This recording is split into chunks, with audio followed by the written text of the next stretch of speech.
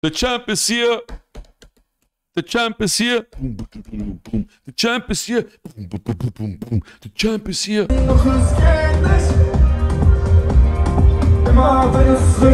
Skepta ist so ein Typ, der kann so, während du, wenn du deine Frau jetzt geheiratet hast, jetzt, kann der die noch, kann er die noch klären. Das will ich auf dem Festival sehen, ja. Bitte guck. Da ist er. Abo seine! Also, Splash, ihr müsst zwei Sachen wissen. Erstmal, Ruse ist krass. Ja, das ist krass. Erst, zweitens, dieses Wochenende Splash, wo wir jetzt da waren, ist nicht offiziell das richtige, richtige, richtige Splash. Es war ein Zusatzmaterial Splash. Das bedeutet, mit anderen Worten, das Hauptsplash, wo jetzt ein Jahr, zwei Jahre lang Tickets für verkauft wurden, ist das kommende Wochenende. Dieses Wochenende hat man so gesagt, ey, es sind so viele Tickets verkauft worden, komm, wir machen, wir reißen ab, machen noch ein Wochenende. Und deswegen, äh, sag mal, waren auch jetzt nicht so viele Tickets verkauft wie beim nächsten. Das nächste ist ausverkauft. Das, das war jetzt Zusatz. Und äh, okay, lange Rede, kurzer Sinn. Dieses Splash war auch thematisch mehr New Wave, mehr Richtung, ich würde sagen, trappig, New Wave auf jeden Fall. Sehr gute Leute auch gesehen. Ich denke, Leute, die die nächste Zukunft, die die Hip-Hop, Hip-Hops Zukunft sein äh, werden. Und äh, das muss man schon sagen. Es sind ein paar Leute da gewesen, die haben abgerissen, muss man sagen. Waren auch ein paar Leute, wo ich gedacht habe, so, machen die Harrensöhne da? Harrensons. Meistens, wo ich so, bei Amis, wo ich so, wirklich, wirklich, bei Amis, ey, nicht alle, nicht alle, aber, boah, Junge, Alter, enttäuschend. Aber reden wir gleich darüber. Nur, dass ihr wisst, kommendes Wochenende wird richtig geil. Alle unsere Freunde sind da. Alle ganze Hip-Hop Deutschland Family wird da sein. Da freue ich mich drauf. Ich werde viele Leute dahin, ich werde da hingehen, ich werde viele abstechen, beleidigen. Ich werde mit vielen Streit anfangen. Savage ist da, da habe ich keinen Bock. Viele sind da, auf die ich keinen Bock habe. Ich gehe dann trotzdem dahin jetzt. Ich werde mit Savage auf Englisch ein Interview machen. Vielleicht. Wenn er will. Vielleicht, wenn, wenn, er, wenn er überhaupt genug Englisch kann. Er hat ja früher angeblich auf Englisch gerappt. so, ich werde viele beleidigen. Ey, soll ich euch mal was sagen, Freunde? Wer von euch war denn auch da? Vielleicht können wir ja zusammen irgendwie lästern. Also, Luciano abgesägt. Richtig krass. Live, Luciano hat, ich weiß nicht mehr, war das Samstagabend, Luciano? Boah, ey, los, würdiger, Luciano, würdiger Main Act zum, zum Schluss, oder Freitag, weiß ich jetzt nicht mehr, einfach hektisch. Luciano hektisch. Yeah. Oh mein Gott, yeah. Ich bin ready, wenn du ready bist. Ich glaube, wir sind ready. Okay? Yeah. Ich will euch alle sehen, Splash. Splash, get ready! Energy! Energy! Energy!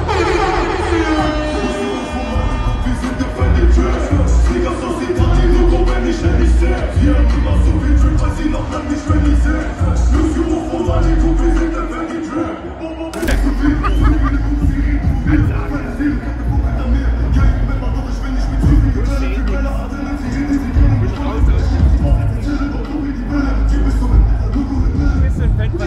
Was war noch richtig krass?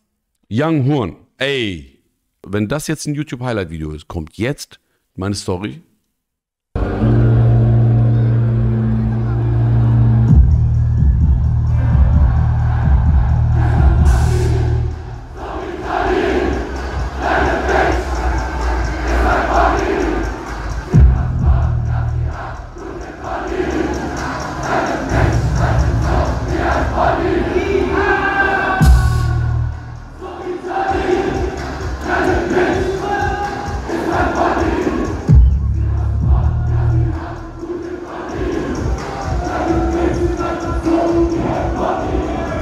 Young Horn.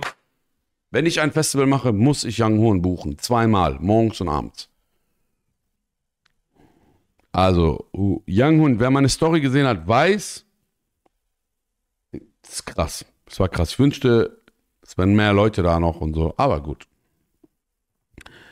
Ähm, Ja, ja, ja. Showtime schreibt, äh, Showtime schreibt weiter, aber mehr New Wave Rapper gesehen als die alten Hasen. Ja, ja. Es ist das nächste Wochenende ist mehr so die, sagen wir mal, das, was man gewohnt ist vom Splash. Dieses Wochenende war extrem auf Newcomer, New Wave. So hatte ich zumindest das Gefühl. Zum Beispiel, wisst ihr, was mich, mich gar, mir, mir gar nicht gefallen hat, war Roddy Rich. Hey, der sieht gut aus, der ist fresh, Ketten, Metten, das, das. Und wenn sein Song kommt,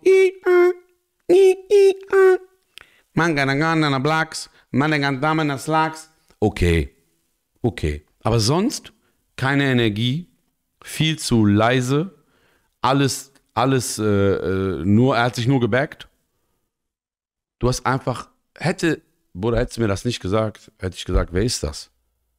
So, ist eine absolute Null. Dann hat er eine Aktion gebracht, da hast du gedacht, Bro, welches Crack hast du gebased? Pass auf. Er ist der letzte Act. Es ist schon kalt. Es war Samstag, glaube ich, es war auch schon wirklich kalt. Abends war kalt. Die anderen Tage war äh, übertrieben heiß, aber an dem Tag war richtig kalt. So, habe ich auch bereut. Ich war mit kurzer Hose und so. Alle, ich glaube, alle Festivalleute haben Erkältung bekommen, wie ich auch. Stimme im Arsch, alles. Er geht von der Bühne runter Plötzlich. Alle machen Zugabe, Zugabe. Alle so, eigentlich muss Zugabe, weil was macht er da? Okay. Die Hälfte der Zuschauer geht, Licht geht an, es ist ja nicht vorbei. Zehn Minuten. Ich bin auf diesen überdimensional hohen Kran. Shoutout an Ron, die uns hochgebracht haben. Auch Shoutout an die Leute von Red Bull. Die, wir haben nämlich auf dem, äh, Red Bull hat nämlich so, so ein äh, Dings gehabt so ein, auf einen dieser Krane oder Nur noch hier oben. Kran oder wie nennt man sowas, Mann? Auf diesen Garzweiler 2 Maschinen. Ihr wisst, diese Shoutout an Steak, diese, äh, diese Maschinen, womit man früher Kohle aus dem Boden, Kranauis. Danke, Mann, Amani. So, Kranauis.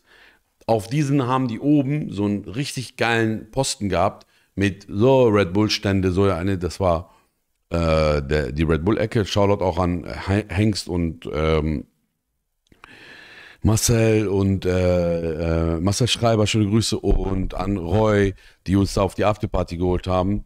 An die Unforeseen, äh, diese, diese mit diesem Spiegelgebäude, auch richtig geile Aktion. Ey, das war alles geil. Auf jeden Fall geht er so runter auf Kranaui, dann Leute gehen, Licht geht an, dies, das, es ist vorbei, Festival ist over, okay? Zehn Minuten, zwölf Minuten, 15 Minuten. Ich rede schon mit irgendwelchen Leuten über irgendwelche Themen. Auf einmal kommt er wieder auf die Bühne. Auf langsam. Und dann kommt sein e -a. Er spielt nochmal seinen Hit. E -a.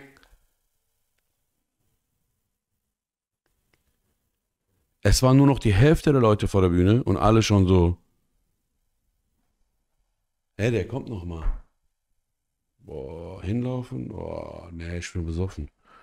Ey, er war wirklich kurz vielleicht, ich weiß nicht, vielleicht war der kurz, äh, was, weiß ich nicht, Alter, Basen, ich weiß nicht, was diese Leute so machen. Vielleicht kurz noch FaceTime. Ich weiß nicht, was hat der gemacht? Der war zehn Minuten, äh, wirklich jetzt, ich meine das jetzt nicht, übertreib nicht, aber so eine Minute weg. Ich so wieder am Übertreiben. Glaub mir, jeder, der da war, soll ich drunter schreiben. Er hat, er war kacken oder so. Aber dann, wenn du kacken gehst, äh, ist in Ordnung, verstehe ich. Ah, ich muss mies scheißen, ich komme gleich. So, mach Ansage. Sag, ich komme. Er geht einfach runter. Das war ganz schlecht. Bei Roddy Rich Enttäuschung. Sorry. Hey. Hör auf, hör. Mach zu. Hör auf. So. Richtig gut waren dagegen. Ähm, was war denn nochmal richtig, richtig gut? Man, wir haben erst zu viele Eindrücke, Leute. Ich muss langsam mich sammeln. Hä? Vega war nicht gut. Vega und Bosca war nicht gut. Haben wir live gesehen, kommen hier Stories hier rein. Ich kann euch hier zwei Stories reinschmeißen. Doch es geht nicht. Immer wenn es regnet, lässt beide weggefegt. Immer wenn die Sonne nicht zu sehen ist. Ich muss dich vergessen, doch es geht nicht. Immer wenn es regnet. Dankeschön, Splash. Ähm, ja, Katja, ey, Katja Krasowitsch, Leute.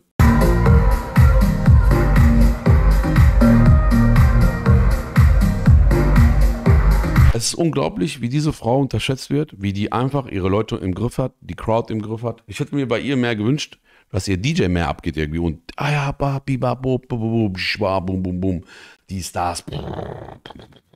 Du, du, du. Für mein Gefühl hat der gar nichts gemacht, aber gut. Äh, vielleicht mögen die das auch so, ich weiß es nicht. Katja wird auf jeden Fall unterschätzt. Sie hat auf jeden Fall ähm, Playground-Bühne gut abgerissen, war auch letzter Eck um diese Zeit. Ich weiß, sehe schon, ey, Miss, ich sehe schon, äh, Busy wird hier, äh, Katjas Musik, ihr feiert das nicht.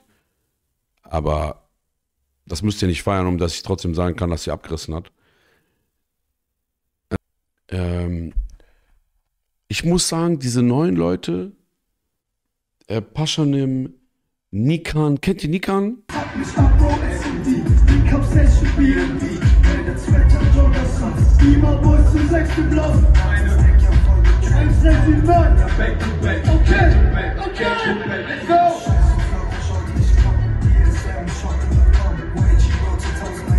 Blink up, blink up, alles wird da. Habe ich gerade im Auge, ist wahrscheinlich, oder ich hoffe für ihn, dass der nächste Shit ist.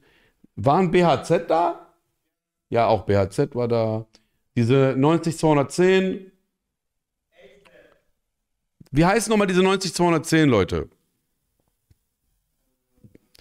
110,99. Dann waren noch so drei Mädels oder zwei Mädels und ein Typ, wo wir auch nicht wussten, wer die sind. Gila, Dilla oder sowas. Auch nice. Ey, diese Leute, ne? Pass auf, diese Leute, die alle so ein bisschen ähnlichen Mucke, Mucke machen, alles war ab Tempo, sehr auf so hausige Beats. Äh, die haben gut abgerissen. Das passt so krass zu Festivals. Ey, Leute, das kann ich nur sagen. Ähm, kann man kritisieren, dass nicht immer alles live ist, weil die, die, das anderer Style einfach, die backen sich dann äh, teilweise einfach nur selber. Aber muss man sagen, nicht jede Mucke eignet sich halt für den Durchrap, sondern es ist aber auch Party. Das äh, schätze ich schon. Also ich muss sagen, äh, es jetzt, ich erwarte das nicht, dass jeder das komplett da durchrappt. Ist nicht jeder für mich auf, es ist einfach äh, nicht jeder so von der Musik her, so dass ich erwarte, dass der, der so durchrappt. Ähm, es gibt einfach Partymucke und ey, ganz ehrlich, ne, 23 Uhr Splash, meinst du einer hört noch irgendwas? Du hast Hörsturz, besoffen bis geht nicht mehr. Es gibt nur einen Menschen, der da wahrscheinlich rumläuft, der das alles noch voll original checkt, das bin ich weil ich ja nichts trinke. so. Klar, Vega und Bosca rappen durch. Ähm, ja. Äh, ja, Bordello, das habe ich gerade schon erklärt, warum das so ist. Bordello schreibt, war aber nicht so richtig voll dort wie sonst. Ja, das ist das zweite Wochenende sozusagen. Das war das Zusatzwochenende. Nächstes Wochenende ist ausverkauft. Und ich sage euch ehrlich, ich fand's schon cool irgendwie, dass das nicht so ganz so voll war. Weil guck mal, ich war jetzt zwei Jahre auf nichts mehr. Und auf Festival. Ey, Leute, das war schon richtig gut. Das war so ein Soft, Soft Opening, auch für mein Gehirn. So viele Eindrücke, so viele Menschen. Boah, Digga, ich musste langsam, langsam wieder reinkommen, so, weißt du? Deswegen war schon nice. Ähm,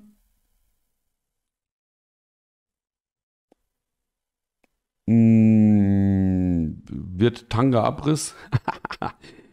Guck mal, zum Beispiel Harry BVB schreibt, ähm, die Entwicklung ist aber falsch, finde ich. Die Mehrheit sollte schon sehr gut live spielen können.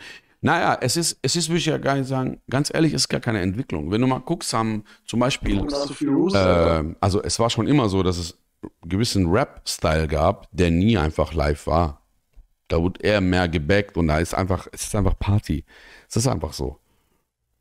Es eignet sich einfach nicht alles für live. Aber gut, Schwamm drüber. Ähm, ja, Mixo McCloud, natürlich Mixo McCloud, Shoutout an die beiden. Ich war gerade da bei Mako, hier in, äh, in, wo ist das irgendwo in Berlin? Da, RAW-Gelände, Skate, Skatepark. Da waren wir gerade, haben uns den Mako angeguckt, auch jemand, wo ich denke, ja, der fährt auch diesen neuen Swag, diesen ganz neuen, diesen, also was heißt neu, ist auch schon nicht mehr so neu, aber diese ganzen neuen Leute, Alter, finde ich echt gut. Diese Leute haben ihre eigene Bewegung, ihre eigenen Leute, ihre eigenen Moves eigene Zahnlücken. Es ist chillig, Mann. Es ist in der Nähe der Warschauer Straße, ganz genau. So, lange Rede, kurzer Sinn. Äh, ASAP Rocky. Genau, ASAP habe ich gesehen live. Äh, sag mal so, ASAP ist natürlich geiler Typ. Cool. Alles gut. Ey, live war er auch Stimme und so. Viel besser, als ich in die letzten Jahre gesehen habe. Ich habe ASAP schon sehr oft gesehen, muss ich sagen, leider. Er kam aber ganz komisch mit einem Visual rein. Leute, er kam mit einem Visual, also hinten liefen Bilder von 9-11 und hast du nicht gesehen, so chaotische politische Situationen, Sachen, Chaos, Katastrophen, Dings. Ach Gott, Alter. Onlyfans, so viel Fans. Ich glaube, ich bin Millionärin. Beste Ohrwurm. Katja hat wirklich, Katja hat die Schmerzgrenze auf dem Splash einmal kurz ausgetestet. Dicker. Dicker, dicker, dicker, die Leute, Alter. Ich habe mich echt gewundert, äh, wie die wirklich krass, es ist einfach so krass, wenn du als Frau so sexy angezogen auf die Bühne gehst, mit so einem Booty und diesem Look, den sie halt hat, und die Leute dann ausziehen, ausziehen und so schreien, ey, das ist nicht so einfach, das unter, im Griff zu kriegen. Aber dicker, dicker. Frauen haben es anders schwer, wenn die Leute schon um 1 Uhr äh, oder halb zwei oder schon nicht mehr geradeaus gehen können. So. Tschüss. Ganz kurz, was wollte ich sagen? ASAP hatte komische mit Gitarre. Äh, mit Gitarre haben die so verzerrter, mit einer verzerrten Gibson E-Gitarre haben die die Nationalhymne, amerikanische Nationalhymne gespielt. Bisschen erinnerte mich das an Jimi Hendrix, der das mit seinen Zähnen mal gespielt hat. Ich weiß nicht, ob das so ein bisschen Kritik, Kritik an äh, der ganzen Politik Amerikas war, aber die Bilder waren wild und verstörend. Passt aber irgendwie insgesamt ja nicht zu seiner Mucke, finde ich irgendwie. Keine Ahnung. Äh, aber okay, dann hat er Skepta auf die Bühne geholt. Dann haben die noch so erzählt, ja, wir haben ja gestern Abend einen Song gemacht, den wir am spielen wir jetzt. Ja, ich mir auch gedacht, Bruder, spiel doch einfach den Song. Erzähl mir doch nicht irgendeine Scheiße von gestern Abend. Lüg doch einfach nicht. Immer das Promo-Gelaber. In fact, we just recorded it like, yeah, like, yeah, like the day before. Na, Bruder. Skep, skep mich nicht an. Skep mich nicht an. Ich glaub's dir. Skepta Live war übrigens, das war, das war geil, mal den zu live zu sehen. Ich muss sagen, nehmt nicht eure Freundin zu Skepta Live Auftritt. Geht nicht so nah ran, wenn du mit Freundin da bist, oder? Ist scheiße. Skepta ist so ein Typ, der kann so, während du, wenn du deine Frau jetzt geheiratet hast, jetzt, kann der die noch, kann er die noch klären. Das ist Skepta. Oder Spectre oder Skepta oder skeptischer Spectre. Es geht nicht auf sein Konzert, ich sag's euch ehrlich. Geht nicht auf Skepta-Konzert mit Freundin. Das ist äh, anstrengend. Roos, mach ein Roos-Festival. Bitte eigene Festival mit DJ von dir und Connections und miese Mampfen. Leute, wenn ich mal ein Festival auf die Beine stelle, ne? Roos im Park, nenne ich das. Roos im Park. Dann werden nur hektische Leute auftreten. Es wird Getränke und Essen alles mehr kosten als woanders, weil wir wollen das spenden, das, was mehr Geld reinkommt. Ist eine Selbstkostenkiste. Es wird nur Köche aus Bangl- Bangladesch geben, die 1 Euro die Stunde verdienen und ihr eigenes Essen selbst zahlen müssen. Was aber europäische Preise hat. Das ist, das ist klar. Also gut. Äh, ja, was, was haben wir noch irgendwas? Also es gibt natürlich auch Sachen, die ich äh, gerne kritisieren würde und zersägen würde. Ihr kennt mich ja, aber ich will der ganzen Sache nochmal ein Auge erstmal geben und nächste Woche abwarten. Ich werde erstmal nächste Woche abwarten, äh, weil das ist ja dann das sogenannte richtige, richtige, richtige originale Splash. Das werde ich mir auf Lunge ziehen und dann werde ich euch noch Feedback geben. Live, ähm, yo, wer auch ab Todes abgerissen hat, war Bad Moms Day. Ey, hat die nicht Todes abgerissen? Das ist, das ist Wahnsinn eigentlich, wie die, wie die Leute ihre Texte können und wie die abreißt. Also, die hätte locker auch die Mainstage ficken können. Ich schätze nur, dass das Booking einfach schon lange her ist, bevor sie so big abgerissen ist, big abgegangen ist, weiß ich alles nicht. Dann haben wir gesehen, war sehr interessant, war Tilo live. Tilo fand ich auch sehr interessant.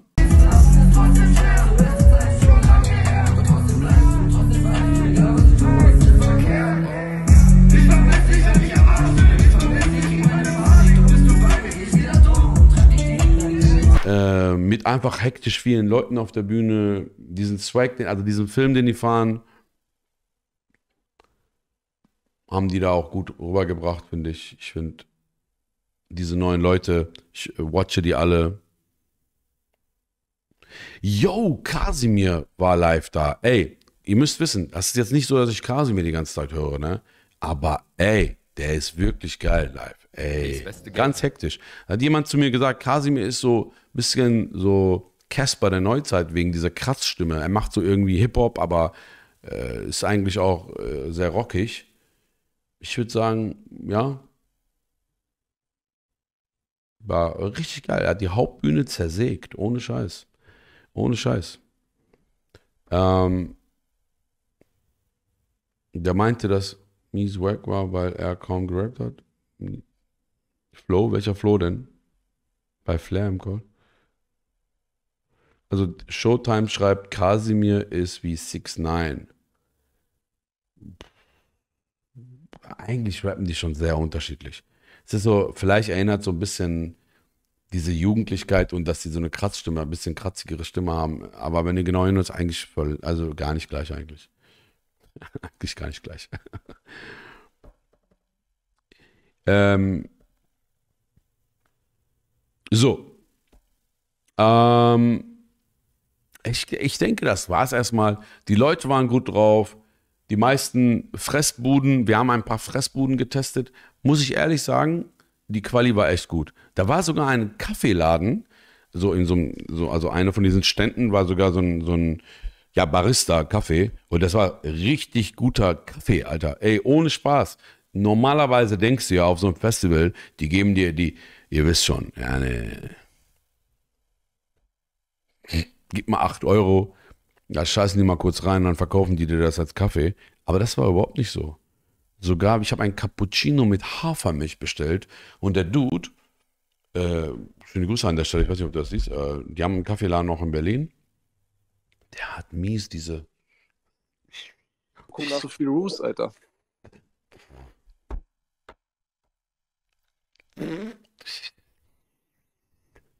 na,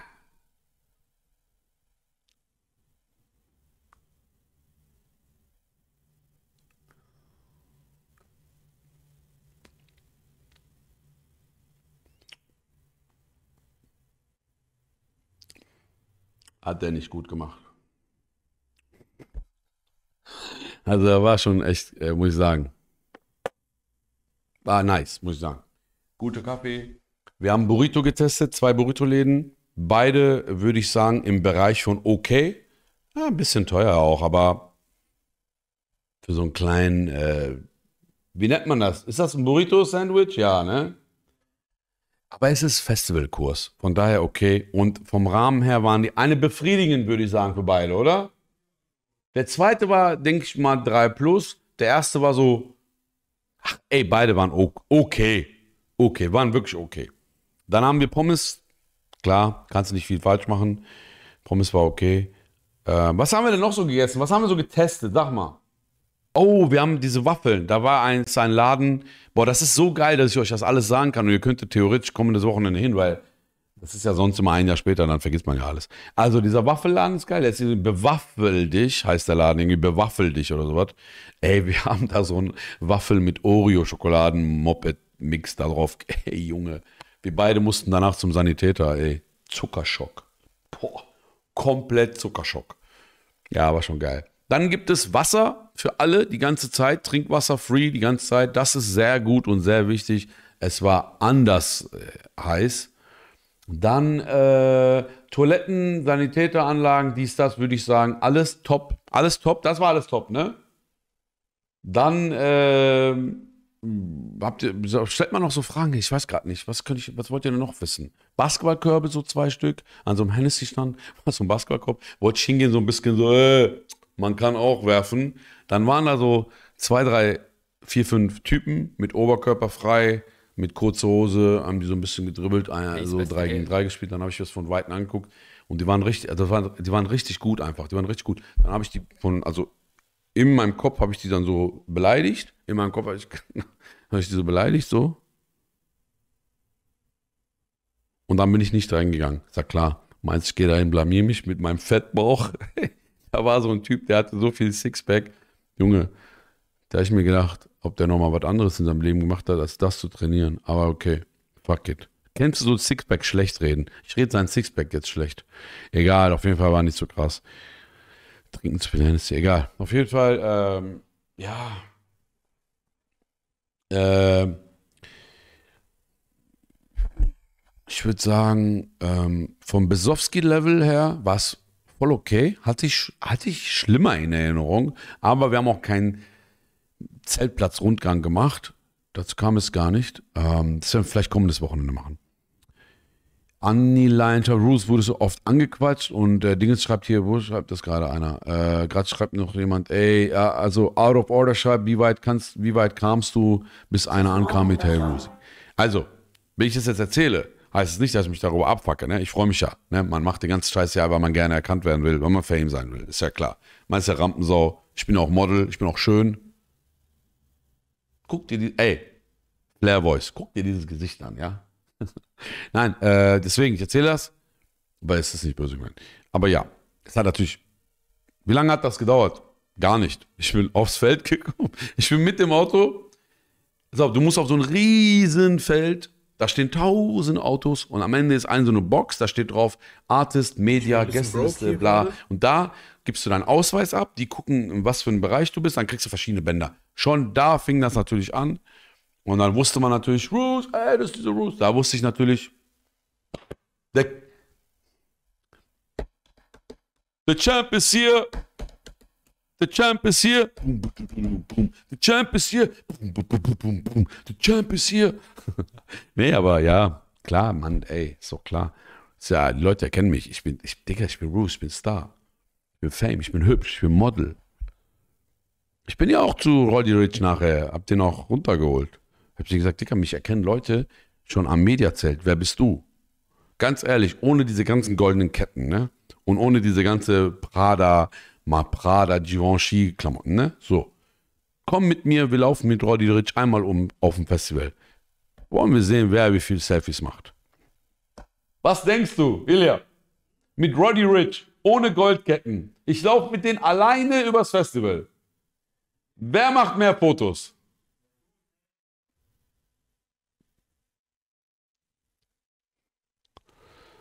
Ich sag ganz ehrlich, Alicia Keys, ne?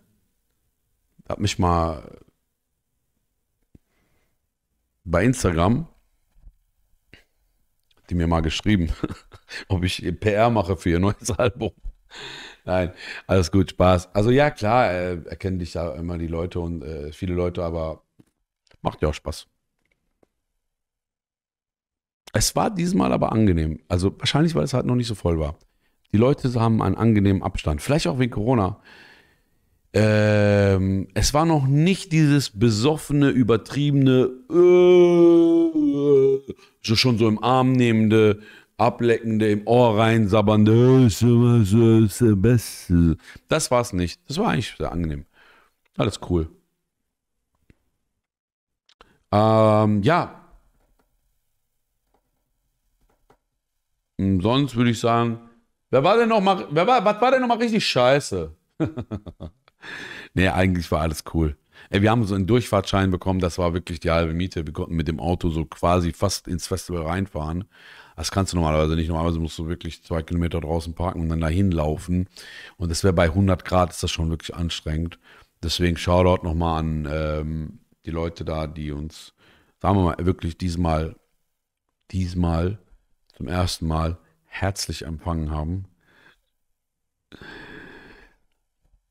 Das, das war angenehm. Das war angenehm. So. Ähm, mit Mietwagen im Moshpit. Boah, Valley Boy schreibt, was gefällt dir besser, Splash oder Frauenfeld? Boah, das ist nicht, du kannst diese beiden Sachen, es ist, äh, es ist äh, Äpfel mit Birnen, kannst das nicht vergleichen. Wirklich, es ist total verschieden. Frauenfeld ist einfach, erstmal ist es enorm größer. Dann ist es ja so, dass beim Frauenfeld locker 30 oder 40 Prozent fast, ich würde sagen, äh, ein bisschen mehr als die Hälfte sind schon deutsch, aber Viele, viele, viele Leute kennen mich da ja gar nicht. Da sind ja Franzosen auch da. Vergiss nicht, das Dreiländereck. Die haben da viele, viele Amis. Zum Beispiel Eminem da steht. Da kommen alle Leute aus Frankreich, aus Teilen aus der Schweiz, die unsere Sprache gar nicht sprechen, die sprechen andere Sprachen. Deswegen ist Splash in der Theorie 100% Family. Ich sag immer, Ist Family. Da ist ja, kein Mensch ist ja da, der nicht weiß, was wir machen. Die wissen, ah, das ist der eine, der Interviews macht, so mäßig. So. Das ist Family einfach. Das sind ja teilweise sind da die Leute, die, ihr seid hier drin, dieser Baypop.de, das ist unsere Bubble, würde ich sagen. So. Unten ist ein paar Prozent halt, wie gesagt, 20, 30 Prozent, die wissen überhaupt gar nicht, was wir machen. Weder ich noch äh, Aria, Hip-Hop.de, das ist halt für die anders. Deswegen, das ist zum Beispiel ein großer Unterschied. Aber der ist, ja, es gibt große Unterschiede. Ich würde keins davon missen wollen und deswegen solltet ihr auch auf beiden auf jeden Fall auch mal gehen. Shoutout an Steak Patrick in den Chat. Nein, Spaß, die geben mir nichts. Deswegen kein Shoutout an. Minus Shoutout. Shoutout zurück von Steak. Und ähm, so. Ey, ich zeig euch kurz mal was jetzt zum Thema Young Horn gerade. Ein, ein Mini-TikTok nur. Das mal zum Thema Young Horn. Boah, Junge, Alter. Zieht euch das rein. Zieht euch das rein. Okay? Ja, es geht, ne?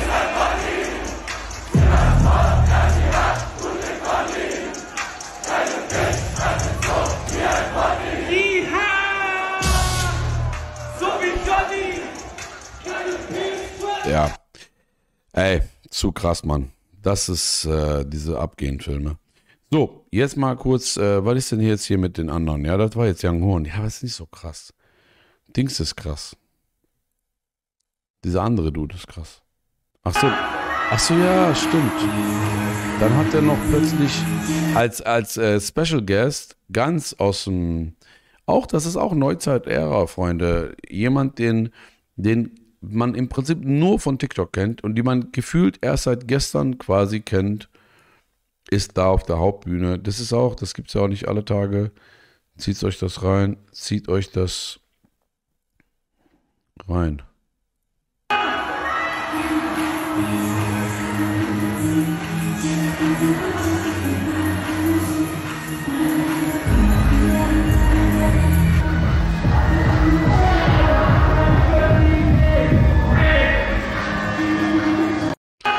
Ja, leider äh, kommt das jetzt hier nicht so krass rüber, aber es war wirklich, ähm, das war schon, das ging schon sehr ab da. Dieser, das ist dieser Track, der auf äh, Dingen so krass abgeht. Habt ihr das mitbekommen, diesen Track? Wie heißt der Track nochmal? Ha? Wie? Benzin? Ohne Benzin, ja. Diese, diese Ein-Song-Situation. Ja, mal schauen. Also, vielleicht kommt sie ja nochmal wieder mit dem zweiten Song. So, Uzi, nochmal ganz kurz. Das ist Festival, Leute. Das will ich sehen. Das will ich auf dem Festival sehen, ja. Lil Uzi Word. Am abchecken. Bitte, bitte, bitte. Bitte guck. Da ist er. Abu Seinek! Oh, Junge, Junge, Junge. Mach nicht die Versicherung für ihn.